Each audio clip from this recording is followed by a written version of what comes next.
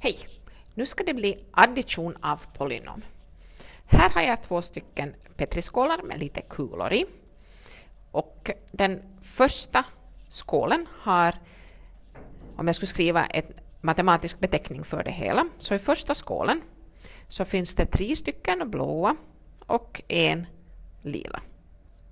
Och sen ska jag lägga till den andra skålens innehåll. Den har två stycken blåa och tre stycken lila. Och hur skulle då den gemensamma skålen se ut? Alltså att om jag lägger dem ihop, mina kulor. Jo, matematiskt så skulle du tänka alltså så här att du har den ena parentesen plus den andra och står det ett plus framför en parentes så blir det uttrycket som står där i parentesen helt så som den är utan denna parentesen. Alltså totalt finns där nu tre blåa plus två blåa, alltså fem stycken blåa. En lila plus tre lila blir totalt fyra stycken lila. Så så här gör du alltså när du adderar och där finns ett, alltså med parenteser. Vi ska ta exempel.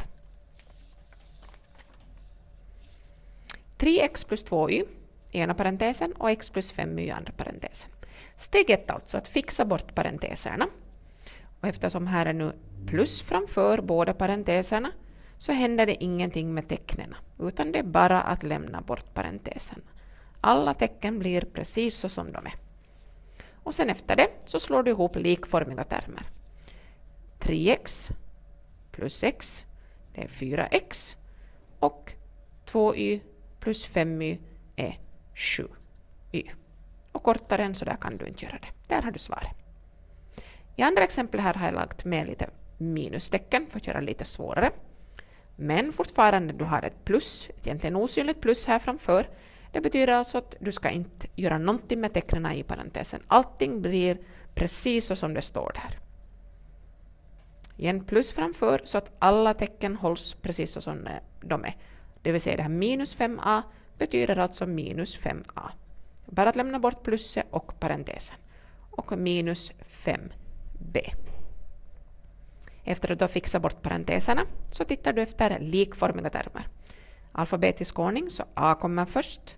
5, 8a minus 5a, det är 3a. Och sen har vi minus 3b minus 5b, alltså minus 8b. Och nu kan du inte göra mer, för nu är de här båda termerna olikformiga. Ena innehåller A, andra innehåller B. Så nu kan du sätta igång och addera polynom. Lycka till!